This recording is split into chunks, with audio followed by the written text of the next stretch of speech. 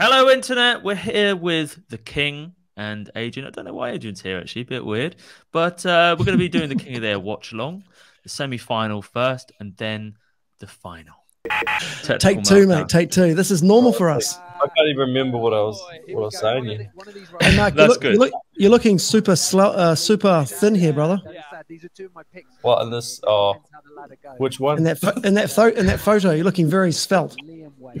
Yeah, I was. My face is sucked in. You can tell when I when I get lean. Yeah, he was going like this. he was doing that. He was doing that Kim Kardashian look for the photo. So you pushing the lips out. You just beaten Tom, and you were kind of in second gear, and then he's got that eight point four, and you were like, "Oh shit!" And then you did yeah. turn it on for that.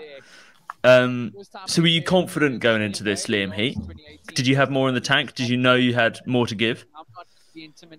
Uh, exactly. Like I'm pretty good straight out the bag. Uh, as you can tell, I can just go straight into my hardest tricks with no warm up, no stretching. It's just kind of always been like that. Um, so with Tom, I started off slower than I normally would, and he's kind of a reason behind that. What one reason was I was trying to consume as much energy as possible uh, to save it for Liam because I knew Liam was going to be my hardest task. And this was the final, basically, wasn't it? Yeah. Uh, Liam came off a big win in Cold Hawaii. Uh, he's been, yeah, to me, the most impressive out of, you know, uh, watching watching it, all the mm. pros ride, the most yeah. consistent, the most impressive. And yeah, I knew it, it's just going to come down to who has the better heat. Realistically, it could go either way. Um, and yeah, just just wanted to save everything because I knew I just had to give it everything for this heat. And also, I... one minute fifteen seconds in, you've already done three tricks. I think we're about to see your fourth mm. any second. Liam is yet to get on the scoreboard, so your tactic to get out early and kind of yeah, like honestly, this King of the Air is the first time I've actually got the flow going. Um, I've always struggled with getting that flow, finding that flow. Um, you know, I've always I've I've pulled off some new tricks and stuff before, but I've never found that flow. And I don't know, this event I was just on the on such a I don't know, crazy flow. It just felt like it to me it felt like nothing.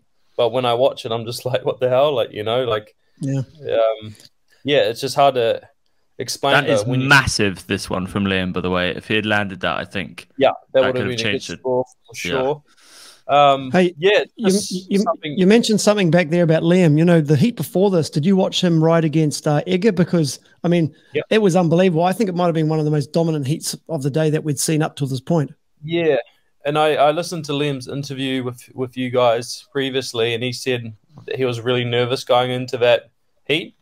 And nerves can be a good thing. If you know how to channel nerves, you can actually turn it into a positive thing. And to me, he he did that, and that's why he had the heat of his life. Where I think with me, he he wasn't so nervous. Um, he was confident, and yeah, that can kind of get you as well when you're a little bit confident, and you yeah, mm it's just kind of like yeah, it's just you know every this is the thing about competition. You got to be able to do in every heat. You can't just have mm. one good heat. And a lot of the riders in this event, they have one good heat and then they can't they they're not consistent. They can't keep that same score or they can't improve. And that's what it comes down to winning an event like this. You have to be consistent. You have to be able to get that same score and you have to be able to at least prove, um, not go backwards. Because yeah, some people peak too early, and for me, I think um, I just got better and better every heat. Um, mm. I think the final, I just um, you know did even more tricks than the previous heats. So yeah, you just you got to learn not to peak early, and it's a hard thing to learn. And yeah, every ride is different, but it's it's it's a hard comp. This we got one shot a year for this, yeah. and it's not enough um, because other comps aren't like this one. The PPE for this one, it's a lot more pressure.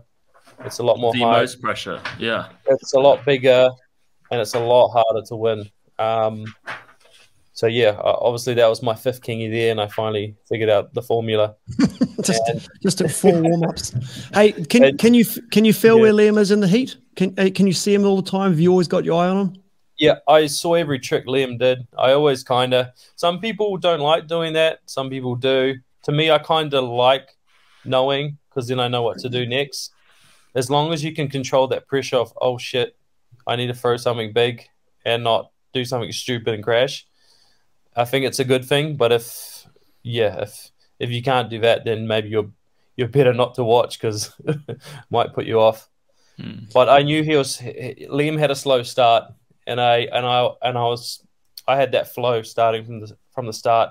Hmm. Uh, so that was kind of the difference between when you watch this back and forward, you kind of see Liam struggling um, quite quite a bit at the start of his heat, where I kind of like had a flow. I don't. Did I crash in his heat? I don't think I did. no, I? I don't think. No I don't think so. Yeah. Liam like does find another gear at the end, which we'll get to that. Yeah. I'm not going to spoil and, the plot. And that's and that comes down to competition experience. Yeah, Liam's one of the best at that, and to be able to come back at the end is crazy. Like on the, buzzer. people I have seen, only people I ever seen do that is like Aaron and Liam, Kevin. Yeah. Those those names So there's big contra boogie board off there, and you're kind of pulling away here. Liam's still yet to get a third score on the board, but you know we're only four minutes left.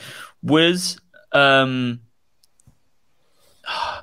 was your previous experiences in competition with Liam on your mind during this, and can you talk a bit about what's happened in the past? Um, well, uh, to me, you learn more losing than you do winning. And every King of the Air, I learned a lot, especially in my last King of the Air, uh, riding against Jesse. I immediately knew what I needed to do and how I could have won that heat. And Which was like uh, against Jesse. Yeah. Yeah. Well, I just well back then I didn't obviously have all the switch technical. Um, yeah. Board offs like he did. Um, I only had them coming in.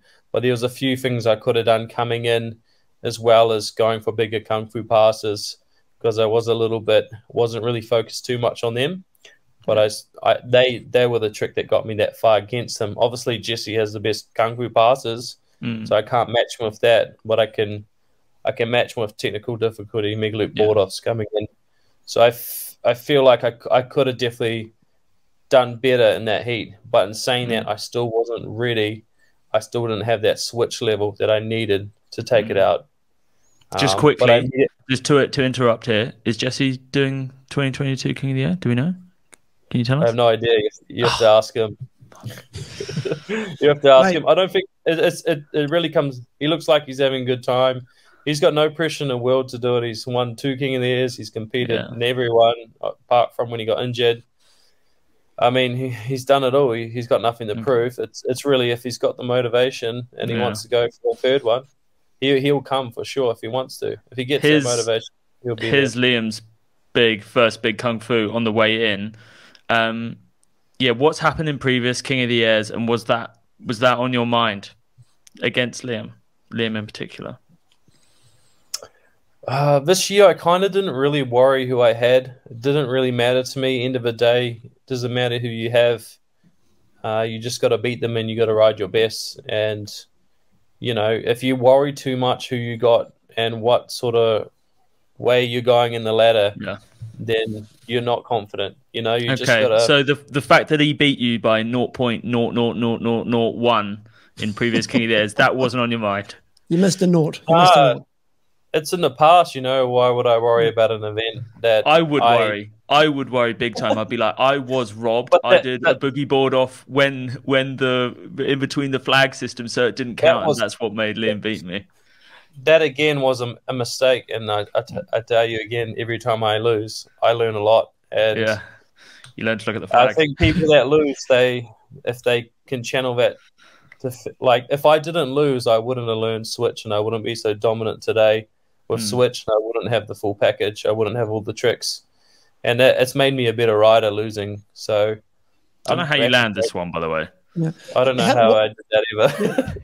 I mean, you guys heat... both didn't go to the contras to. Uh, sorry, both didn't go to um, the handle passes to very late in the heat, right? Yeah, because I mean, handle passes are the riskier one. You crash one of those, it can put you out for the heat. And you kind of want to get a good three, four tricks on the board before you consider unhooking. Mm. At the end of the day, most guys kung fu passes, um, besides Jesse and maybe Liam or myself, they're not really our top score. They're more of an over impression, over impression score. Um, Here's Liam Whaley on the buzzer. That is massive. That was that... that... was the best kung fu I've ever seen from Liam. That was more yeah. kind of like a Jesse style, but obviously not quite Didn't Jesse. extra pass, yeah. Jesse, Jesse goes way bigger than all mm. of us, mm. but yeah, that's his signature move. So at this moment in the heat, did you know that you'd won? How how confident were you? You must have seen that last kung fu and knew that it was on the buzzer. What, well, what was going through your mind? So I was really confident, pretty much. Like I was just in the flow, and I saw he wasn't in the flow. And if you compare both, you, you would see that you know this guy's putting on a good show, and this guy is. And and I knew I had a big bag of tricks in, and I knew he had some good ones at the end. That kung fu was like, all right, it's going to be close for sure. I always knew that with Liam, it's going to be close. Uh, you just you just never know what you're getting scored, so you can't just calculate in your head how close you are. But I knew that I had him on overall impression because I had mm. to. I just did more more variety, more things. I mean, the uh, contras yeah. were the difference, right? Really, in the end. Well, contra and I think the switch mega loop board off coming in. Okay. So yeah. so both ways he didn't um, do that. We both match handle passes in and out. Um, both kind of had the loop board off stuff going out, and yeah, had the doobies. So yeah, I knew I had him just on that very variation, and it was I knew it was going to be close, and I was just actually I was just so proud of myself because I knew I gave it everything. Um, as long as I I feel like I've given it everything, and I've ridden my best, you can't be upset with yourself. The hardest thing ever is having a bad run and knowing you didn't perform your best and mm. losing that way. That one really eats eats you. And hey, I want to ask you one question, Marc. Previous ones. I want to ask you one question. Um, obviously, uh, Liam's just changed brands. You were in the same thing before. You were riding uh, another brand. Do you think this change to a new brand's going to, and how will that affect Liam and his competition going forward? Being on a, a a brand that's maybe a little bit more competitive when it comes to the kites. Well, he's changed at a good time. He's got a whole year to get dialed on that kite, which is plenty and I think it's a good decision on his behalf. It's only mm. going to make him go higher and bigger and better. And yeah, he's going to be a big threat next year. I mean, there's a lot of good riders that are right up there that can take it out, but Liam is Liam is that one that can do it. You know, he's he's he, he's he's got it. You know, so yeah, it's going to be exciting next year for sure. I wonder if he'll be looking to bring S loops and double loops to it. I haven't oh. seen anything from his yet, but surely. Oh, he can he can do them. He just hasn't done them, but he can do them. Yeah. Come on, like he's how technical is he? Yeah, he can do them. Um, yeah, and if he wants to do them and wants to put, he's the type of guy that you know, Mega Loop KGB, never done it. Yeah, do it in the comp, and yeah, he, he doesn't have to. He doesn't have to practice it. He'll just do it in the comp. That was Colin's big call. He said. He said. Uh, he said more. We're going to see more unhooked stuffing, uh, more unhook stuff coming back. You were so wrong there, brother. It's gone crazy. That was. That was one time. I, I think. I think. I think after this double loop stuff, you could see some unhook coming back. But the problem was with unhook. Um, there is there is a box.